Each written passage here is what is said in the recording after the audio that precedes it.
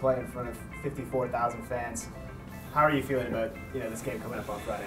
Elated, uh, you know, just to hearing that number. Um, it's it's like a dream come true, and uh, yeah, it's just great to you know finally see the support and the, the belief um, from you know fans to uh, even to ourselves uh, and what we've been able to create here at home. Um, you know, coming down to uh, you know game-changing moments uh, that could definitely um, change the future for uh, for soccer in Canada.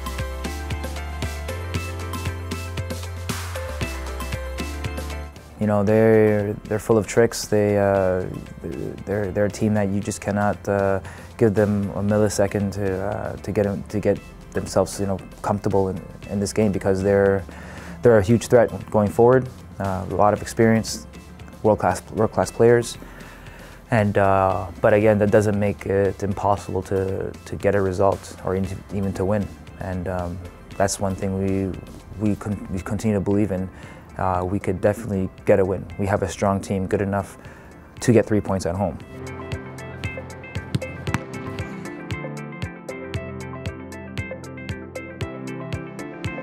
It's going to be a battle. You know, we're footballers that like to fight. We, we know what it means to, uh, to deal with teams in CONCACAF, and it's never an easy task.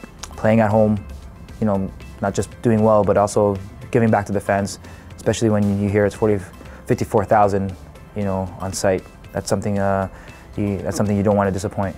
And, um, you know, we definitely want to give back.